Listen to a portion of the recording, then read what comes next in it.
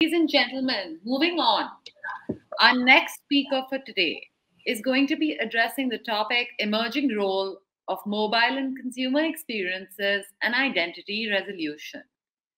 Kelly Kokonas, EVP, Global Data, Starcom Publicis Group. As Starcom's global lead on data technology and analytics, Kelly works with the agency's client teams to ensure Starcom delivers advanced data driven strategy at scale. She is responsible for helping Starcom's global clients determining determine their overreaching data vision while also collaborating with client teams to create the roadmaps and project plans that will bring that vision to life. Kelly, hi. You're Hello. here. Hello. Time zone and reporting. Yeah, re- reporting live from Chicago. So where we also enjoy pizza, uh, including. uh, so thanks to the previous discussion too. That was really great. Hello, everyone. Welcome. Uh, good to see everyone, uh, and looking forward to talking here. I'll share my screen uh, as the process goes, and um, and here we go. Um, thank you for that nice introduction. Uh, the work of my team um, is really how we use data upstream and um, in tactical um, applications. So, how we use data in strategy work, um, identifying audiences for growth and revealing insights about those audiences and finding inspiration for game changing experiences, including mobile mobile first experiences in commerce as well as in media and also how we use data in downstream ways, the tactics of how those audiences are handled in optimization and activation and measurement. And increasingly in this new wave of mobile growth um, and all the innovations in the mobile marketing space, um, the data that's created um, through these mobile experiences is increasingly important. So I'll talk a bit today about um, the role of mobile in data-driven consumer experiences, highlighting some perspective and research from some agency work we've done and some data with partnerships. And so I'll talk a bit about another work stream that's emerging, which is um, for more and more of our clients very important, and that's around identity resolution and the role of mobile ad IDs or MAIDs as data that's critical to that identity resolution. So as a as a in point of introduction, and we just previously heard how important customers are at the heart of our products. Likewise, it's a good reminder that when, when we think about data in all of its forms, from ID level to aggregated insights, that data is simply people in disguise. And um, this keeps me motivated to um, continue the work with data because it really is just about people and how we're interacting. And it's people that uh, are talking on social channels it's their it, and subsequently then it's their devices that are talking to us their purchases are talking their media habits are talking their favorite apps are talking and even their cars are talking. And through this so much data is being created.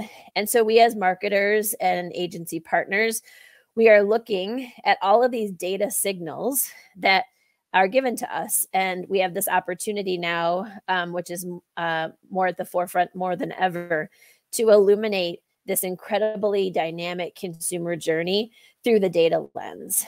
And so, uh, for many of uh, my clients and the work we're doing together, it's about having a data strategy to capture the data, capture, enrich, manage, have respect for adherence to cons- consent and privacy.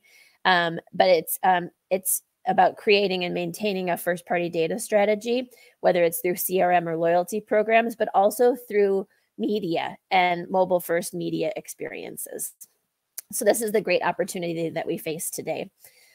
The other lens that we uh, can take as marketers um, in this mobile first world is that this landscape is truly a platform world. And successful marketers may also want to consider to act like a platform themselves. Um, we know from our familiar platforms that are part of our daily lives, um, listed here below on the bottom of the chart, some examples. These platforms are data rich. They know they know us as customers better than anyone. These platforms are they benefit from network effects. Um, they're their own personalized ecosystems, and they are direct to consumer. And so, in this rapidly evolving platform world, companies can't afford to operate independently. Orgs and their partners, um, like marketers and agencies, need to work alongside each other to deliver this real transformation to stay competitive with these other uh, other platforms um, and uh, and lead for category growth. The um, consumer category and competitor shifts demand a new approach uh, as brands are competing for attention. Retailer frenemies are disrupting different modes of business. Uh, there's new D2C models that are challenging how consumers buy the products, as featured in the previous discussion. And we have shared distribution partners um, who are starting to know more and more about our own customers. So we're in this new era of working together. It's more holistic, it's more integrated, and um, we have to work together in new and different ways to navigate this platform world. And winning in this platform world gives us um, gives rise to in, indeed the importance of data in all of its forms. Uh, here in India, um, and actually across the globe, I'll say we have about 14 different data intelligence centers within the Publicis group, um, and one of them um, located here in India. And in these data intelligence hubs, we have the practice of applying qualitative and quantitative analysis um, to respond to these real world marketing challenges, as in the platform world. And so I've got a few uh, charts here that are illuminating some insights from this tracker work. It's um, inclusive of consumer sentiment, attitudes, and search trends, um, social insight behaviors, media consumption behaviors from a variety of different sources. Um, uh, social listening NetBase, um, TV viewing data from BARC, um, website behavior from ComScore or SimilarWeb, and then all uh, various publicly available data sets um, especially in recent months, tracking COVID infections and vaccinations, um, mobility data through Google and economic um, government sources. So I wanted to just share and reveal a few uh, highlight data points here. Some may be a surprise, some may be very familiar. Um, but mobile behaviors are certainly dominant in consumer experiences, and the pandemic has shaped new behaviors. No surprise. But I think the, the stat of 1 billion smartphone users by 2025 in India is really an incredible data point to watch. Um, monthly usage and new internet users are also on the rise. And uh, the search, whether it's uh, you know vernacular search or voice search, are certainly also at great rates of increase with all of this data, we're also looking at um, keeping track of shoppers and coming into this festive season um, where shoppers are clamoring for different sales for Diwali. I'm sorry. Um, the sentiment, we're tracking sentiment, of course, and there's a lot of sentiment around celebration and shopping, um, and sales are top keywords. And of course, many of our retail clients are capitalizing on these festival offers in order to drive their own sales. And important to us gathered here talking about the mobile growth, I think it's interesting to notice that um, some of the top conversation themes during this current season are inclusive of conversations around uh, smartphones as one of the top conversations. Um, and those conversations in the aquamarine blue cluster there are around season, the deals and discounts. So certainly part of our everyday discussions.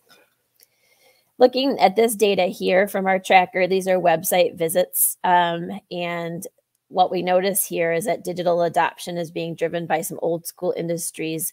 Um, we noticed we in the previous discussion there was discussions about the rise in visits to food and drink uh, sites, which is also inclusive here. But the thing I think is interesting is in that lower right corner there around education visits and the lockdowns have definitely opened up av- avenues for experimenting with digital forms of education, um, showing a 181% lift versus the base. Um, and so, certainly, um, we are using not only our mobile devices, but other technology um, that is and adopting those different digital, uh, whether it's the products themselves or whether the behaviors of visiting different websites. Those are certainly um, something to keep an eye on.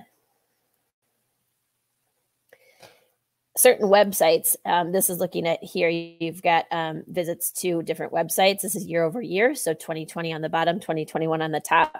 And what we notice here is that certain sites like Google and Facebook continue to benefit from people seeking information and socializing on the internet.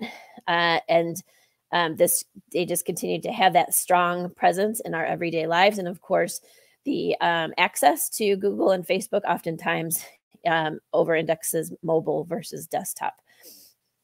Um, but we have to beware because, of course, even we as consumers and also as marketers, we need to um, keep keep uh, attention to the potential over reliance on platforms in our daily lives, um, which was a good example earlier this month when Facebook with the Facebook outage and certainly brought that to life.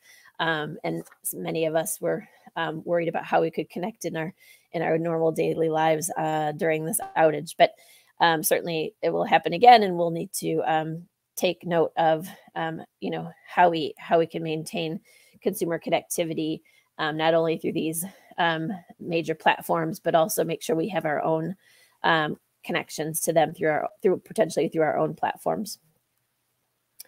So shifting from um, these highlights from our tracker, I wanted to um, uh, share, and this is really fresh and hot off the press. There's a a new report um, that I'm excited to share. Um, actually, it's just dropped today, and there'll be press on Monday globally. Um, it's our Global Media Intelligence Report 2021 that we publish year over year with eMarketer and GWI, primarily GWI data. And the entire collection is an impressive and comprehensive compilation of data on traditional and digital media usage across 43 countries, including India. Um, and it's a really useful report for anyone looking at that market level data and looking for global trends. Um, it's one of my personal projects, and it's a fun time of year when this comes out. Um, featured here. I've got two charts to share, and of course, I encourage you to check out the, uh, full report when it drops on Monday um, by visiting eMarketer. Uh, but the penetration of desktops, laptops, and tablets is actually falling across the globe. Um, but in certain markets, PC ownership is on the slight rise. And so you'll notice on that second line of data here in India um, that PC ownership is on the rise. And I wonder, I can't help but think that potentially the rise of PC and tablet ownership is driven at least in part by some of those dynamic those education dynamics that we mentioned earlier. Uh, another another uh, chart to show from the um, Global Media Intelligence Report. In many countries, digital video is overtaking broadcast TV, and a good portion of that can be on people's mobile devices. And so, India is among the 50% of countries surveyed where 75% of internet users had watched streaming video on demand in the past month. So, another uh, important trend to keep an eye on as we think about the branded experiences that we create for people on their mobile devices, um, either as part of their uh, streaming video experiences or adjacent to. And a bit of a pivot, I want to just touch on the second piece of uh, the second part of the theme um, in my this discussion today is that in addition to all this data for consumer insights, which of course typically is more at the aggregate level, data at the aggregate level, uh, my teams and the work with clients today are focused on data for personalization. And we do this through partnerships and identity resolution. Uh, I think we all, many of us here gathered, uh, realize the ambition for those journey centric personalizations um, and all the stages leading up to that in understanding people through the data, the data profiles. Um, and within Publicis Group and Publicis Media, all of our data partners, excuse me, are prioritized against our group data strategy. So we're we're looking uh, to create accurate and scaled identity data. We uh, and then create a deep understanding and uh, and measurement framework by enrichment, and have quick and high fidelity connectivity with those consumers that we come to know. Um, and so I wanted to share this as an offer as we think about um, the role of uh, uh, mobile in data collection. We know that each market has its own place in the data maturity continuum. And of course, um, within Publicis Group and our Epsilon uh, colleagues, of course, in markets like the US, France, and UK, where we have very advanced core IDs um, to understand people with a high fidelity of data. Um, I'm working with clients across, um, you know, market lists that can be upwards of 90, 90 different markets. And so what we need to understand is what data is available to um, create identity level data on, about our consumers. Um, and so we look at device, uh, digital device penetration. We of course keep tabs on privacy regulation um, and then marketing spend. And we're looking to work with partners um, that lead in the local markets against uh, whatever the local market conditions may be. So we really do um, recognize the role of MAIDs um, and mobile ad IDs as really important consumer data um, signals in the consumer journey. And we're working with key partners like Zeotap for example, here in India, um, to help make those connections um, and to build that um, ID level understanding of our consumers um, in partnership with our clients. So I want to say thank you for your attention. I look forward to your questions here or via email and follow up. And uh, uh, good luck with the rest of the of the uh, of the conference today. Hi, Kelly. Hi. Thank you. Yes. Hi. It was really enriching, extremely lovely, and I'm sure the audience has enjoyed it thoroughly. Thank you so much for making the time. I know you're overseas and it must have been difficult to do this but you've done it and we are so so so grateful for you being here great thank you so much take care